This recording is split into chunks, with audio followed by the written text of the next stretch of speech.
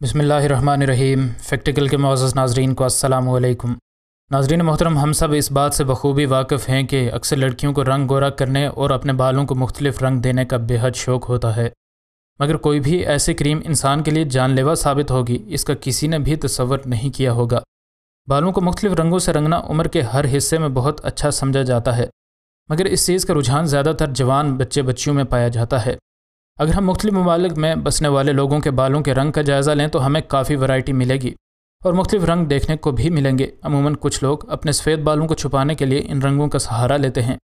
मगर कुछ लोग ऐसे भी हैं जो महज फ़ैशन के तौर पर अपने सर के बालों को रंग देते हैं। मगर सिर्फ़ सर के बाल ही नहीं, बाद सनकी लोग अपनी आँखों पर मौजूद बालों को भी रंग करते हुए इंटरनेट पर मौजूद तस्वीर में देखे जा सकते हैं। सर के बालों को मुख्तलिफ़ रंग देने के लिए बाज़ लोग पार्लर्स का सहारा लेते हैं, जहाँ वो अपनी मर्ज़ी के रंग का इंतखब करते हैं। और वहाँ पर काम करने वाले प्रोफेशनल्स उनके बालों को बड़ी ही खूबसूरती से डाई करते हैं। ये एक महफूज तरीका है, क्योंकि प्रोफेशनल्स को पता होता है कि कौन सा रंग किस तरह की स्किन को सूट करेगा। इसके बरक्स कुछ लोग खुद ही अपने बालों को डाई कर लेते हैं, क्योंकि उनकी नज़र में ये एक नहायत सस्ता तरीका है। मगर ये कोई भी नहीं जानता कि इस तरह के तजर्बात से इंसान को कोई नुकसान भी हो सकता है। क्योंकि अगर सही तरीके से और सही मकदार में रंग का इस्तेमाल न करें तो वो ख़तरनाक भी साबित हो सकता है।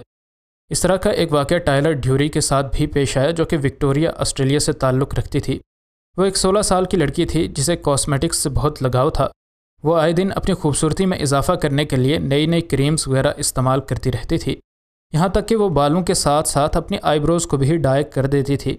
वो ज़्यादातर किसी भी लोकल स्टोर से ये सब ब्यूटी प्रोडक्ट्स ख़रीद लेती थी और अपने बालों को डाई करने के लिए इस्तेमाल करती थी। ये प्रोडक्ट्स ज़्यादातर सिर्फ़ सर के बालों को ही डाई करने के लिए बनाए जाते हैं, मगर टाइलर ने इन प्रोडक्ट्स को अपने आईब्रोज़ को भी डाई करने के लिए इस्तेमाल किया।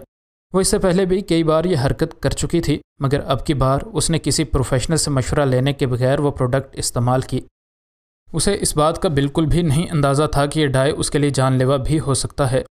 लिहाजा वो एक दिन ये प्रोडक्ट्स ख़रीद कर अपने घर आई। वो बहुत ज़्यादा खुश थी और इस खुशी में उसने अपनी आईब्रोज़ को भी डाई करना शुरू कर दिया।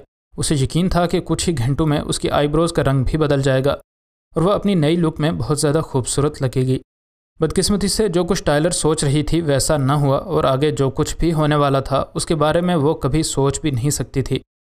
अगली सुबह जब उसने आईने में ख़ुद को देखा तो वो डर गई, क्योंकि उसे बिल्कुल भी अंदाज़ा नहीं था कि उस बालों के रंग के इस्तेमाल के इस कदर खौफनाक नतज भी उसको मिल सकते हैं। उसकी आँखों में ऐसी चुभन थी जैसे सहरा की रेत उसकी आँखों में चली गई हो, और वो उसे बाहर नहीं निकाल सकती थी।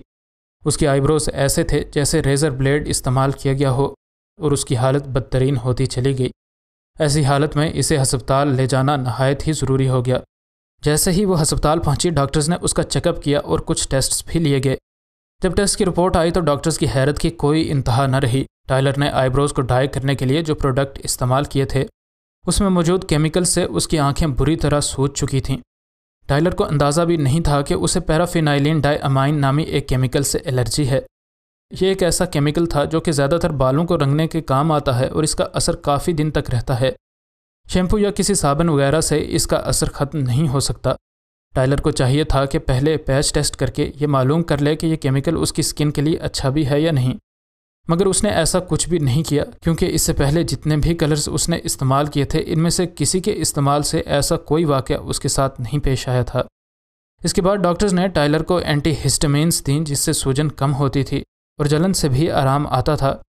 मगर डॉक्टर्स ने टाइलर को सख्ती से मना किया कि अगर फिर से उसने ये डाई इस्तेमाल किया तो इस केमिकल की वजह से वह अंधी भी हो सकती है। और शायद उसको अंधे होने से कुछ ज़्यादा बुरे नतज भी भुगतने पड़े। टाइलर वापस अपने घर आ गई। दो दिन तक ये दवाइयाँ इस्तेमाल करने से उसकी आँखें और आईब्रोज़ बिल्कुल ठीक हो चुकी थीं। अब वो वाजे देख भी सकती थी, मगर जो कुछ उसने अपने साथ किया, उसे देखकर टाइलर के भी रोंगटे खड़े हो जाते हैं। अब उसने इरादा किया कि इन ख़तरनाक केमिकल्स के बारे में सबको आगाही फ्राहम करेगी, क्योंकि खुद से बाल डाई करना सस्ता तो है, मगर जानलेवा भी हो सकता है। हमें हर हाल में मोहतात रहना चाहिए और एहतियाती तदाबीर इख्तियार करनी चाहिए। प्रोफेशनल्स हमारी मदद के लिए होते हैं, क्योंकि उन्हें हर केमिकल के बारे में और हर प्रोडक्ट के बारे में मुकम्मल मालूम होती हैं। वो बेहतर तरीके से जानते हैं कि किस वक्त क्या नहीं करना चाहिए, जिससे हमारी जान को भी ख़तरा न हो और डाई के बेहतरीन रिज़ल्ट भी मिल जाएँ।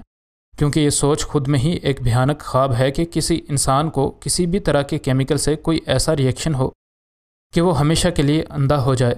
मज़ीद नई वीडियोज़ के लिए हमारे चैनल को सब्सक्राइब कर लें।